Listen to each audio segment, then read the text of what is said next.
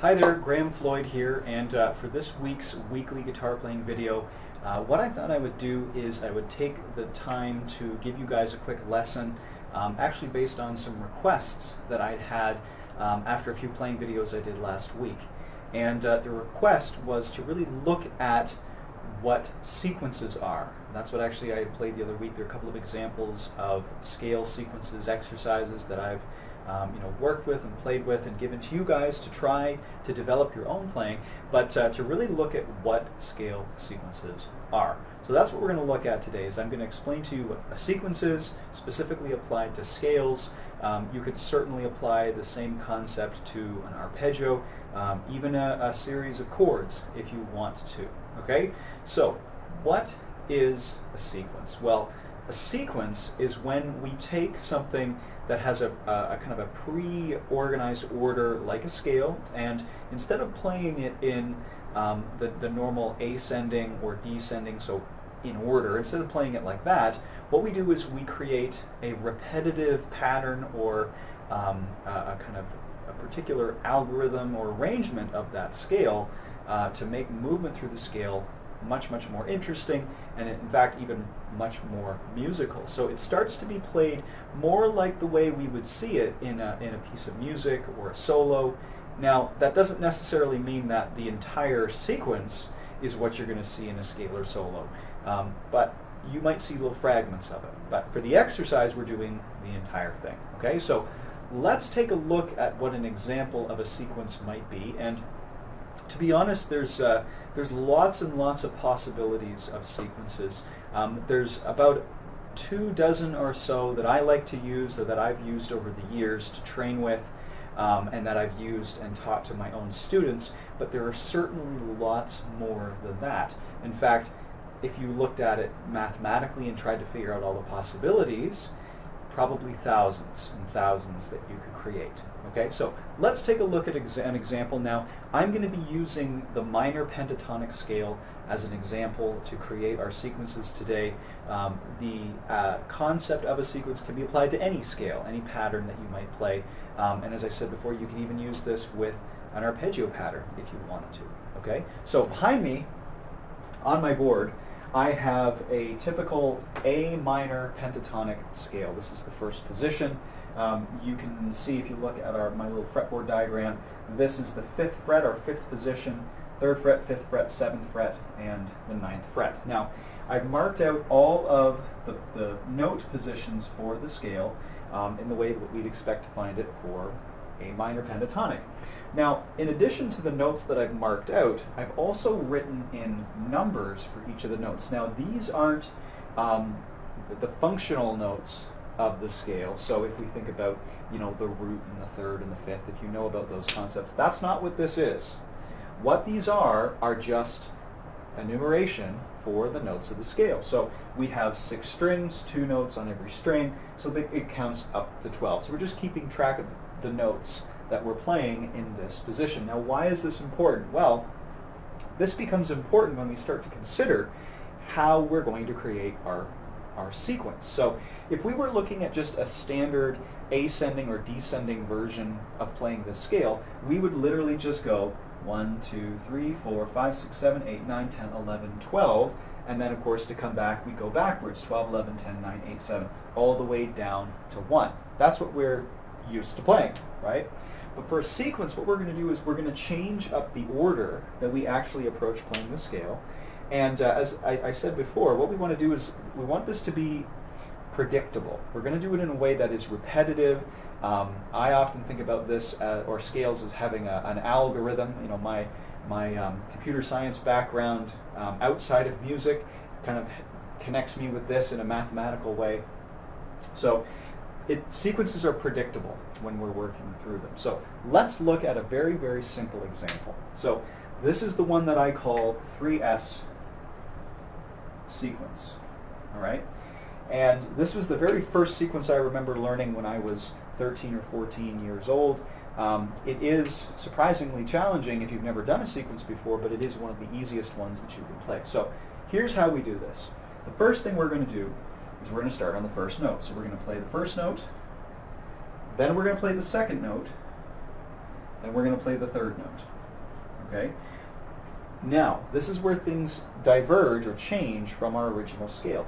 Instead of continuing on to 4, 5, 6, what we're going to do is we're going to take a step backwards. We're going to go back to 2, and then we're going to keep going forward for a little bit. So we're going to go 2, 3, 4. Now we've played another three notes, we're going to take a step backwards. So we're going to go three, four, five. And we're going to continue in this manner. In fact, if I put a little comma here to show the groupings of threes, right, it's a threes sequence, um, we start to get a little bit of an idea of what's going on here. What we're doing is we're playing up three notes and then taking a step back. Up three notes, taking a step back. Uh, another way of thinking about this would be to say that for every position of the scale, we're going to play up three notes. So we start on one, play up three. Then we go to two, play up three, right? One, two.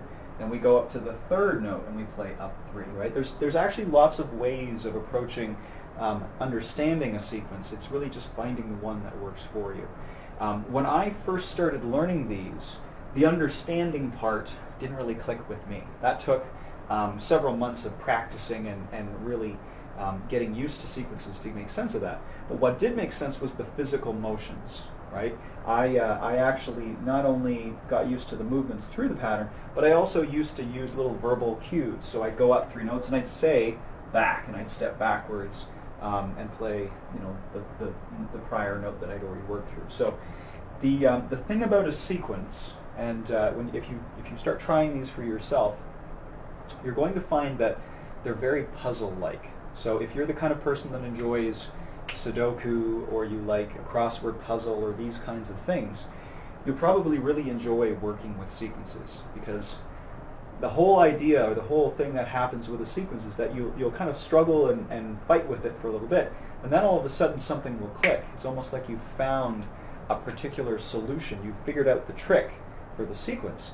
And that doesn't mean you know all the sequences, you know the trick for everything, but every time you find a new one, you go through the same process. You practice it, you work with it, you think critically about it, and then you will find the trick, right, to solve the puzzle.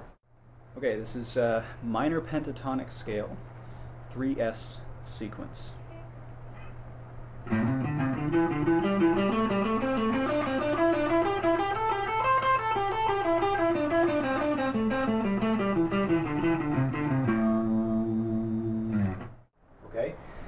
Let's look at another example. So let's say, for instance, we want to do a 4S sequence. So a 4S sequence would be very, very similar to a 3S sequence, but in this case we're going to go forward four notes, and then we're going to step back to the next note in our bigger pattern. So we're not actually going to step back one, we're actually going to, it's going to seem like we're stepping back two. So here's what this looks like.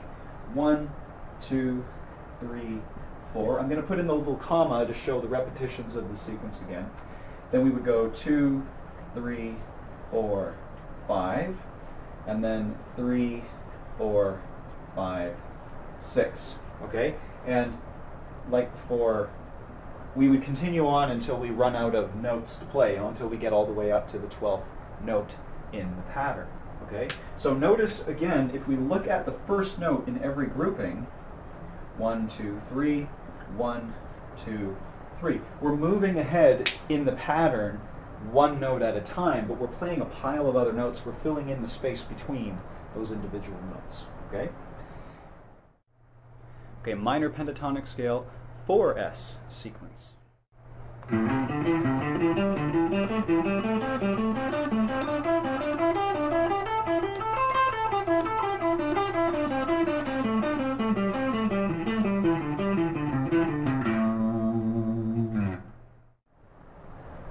Let's take a look at another example, although this time looking at something that moves around a little bit more. And uh, this is another very, very useful sequence to work on.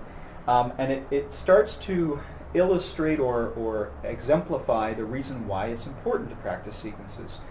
Um, and this sequence is what I call a jumping thirds.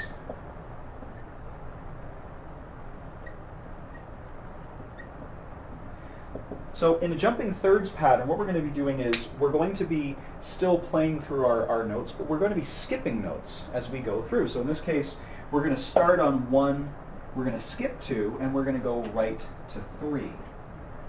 Just like that. So we've jumped to our third note in the pattern. Now, it's not a, an interval of a third. Uh, if you were playing a, a major scale or some kind of minor scale where you have seven notes, it probably would be a third. But the, the third that this is talking about is the idea of we're going from the first note to the third note in the scale. Okay? If I continue doing this, we would then go to the second note, we would skip the third note, and we'd play the fourth note. Continuing again, three, skipping four, going to five. Four, skipping five, going to six. Okay? So once again, if we look at the beginning of every group, in this case there's two notes per group, because it's a smaller uh, theme or subject, whatever you want to call it, that's being repeated. One, two, three, four. Minor pentatonic scale jumping third sequence.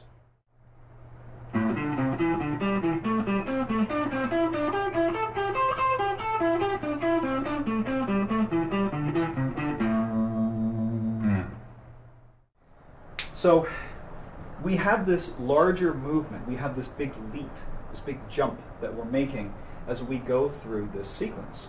And as I said, what this really shows us about practicing sequences is that it gives us a chance to explore movements through our scales that we might not have been exposed to or, or, or have practiced up to this point. If all you do is go straight up and down the scale, then really all you're going to see are, are um, what are called steps or stepwise motion. You're always going from one note to a note that is right next to it. Now again, if we're in a, in a higher position, we might go to a note that's below it, 7 to 6 or 7 to 8, but we've missed a whole bunch of possibilities, like 7 to 5 or 7 to 3 or 7 to 4. So practicing sequences forces us to really see some of these things. And when it comes to music, if you really go in and analyze good melodies or, or uh, famous melodies, you'll find that they don't just use stepwise motion, um, and in fact they don't just use jumping motion, they use a combination of the two.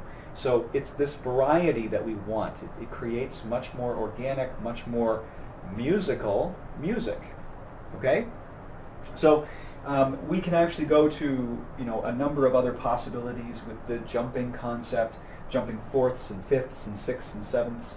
Um, I usually don't recommend going anything beyond the octave. It's it's not really necessary. If you want to do extremes like that, you can try it. But um, even just going through thirds, fourths, and fifths will get you quite far in your understanding uh, of jump, jumping or, or um, leaps through sequences. The last example I want to show you guys is a thematic sequence. And a thematic sequence is one that instead of following some basic music principle or, or simple, you know, intervallic movement, what we're doing is we're creating an interesting theme. Okay? So as an example, let's say the pattern that we're going to do as our as our thematic sequence um, goes like this. I don't have a name for this. This is just I'm, I'm, kind of making this up as an example on the spot. Um, as I said, there's lots of sequences out there to try. So let's say we go one, three, one, two. That's our that's our theme, our repeating pattern. Okay. So we go to our starting note. In this case, it's one. We jump up a third. We go back to the one. We go up to the second. We go back one. So that's one time through. If we then repeat this, starting on the next note of the scale, we would go okay two to four, back to two, to three. Okay? So again, we, we've created now something that really isn't based on a specific interval or a specific movement, but is just more, more random as a starting point. Okay? Now, you don't have to do every combination of this, but what you can find or what you might find very helpful is if you find a, uh, a particular movement or theme or combination that you're learning in a song, you can turn it into a sequence, right? So, you know, if, you found uh, an interesting little lick or pattern from a solo and you thought, oh, that's, that's really cool, I, would like to make that part of what I play, um, you know, all the time, this is a way of doing that, right? You take that little idea and you turn it into a sequence and you push it through the entire scale, okay? uh, let's take a look at just one more step forward. So let's say we go to the 3. So we're going to skip forward, go to 5, back to the 3, and then to the 4. So again, there we go. There's our one, two, three overall movement through the scale as we go through it. Okay?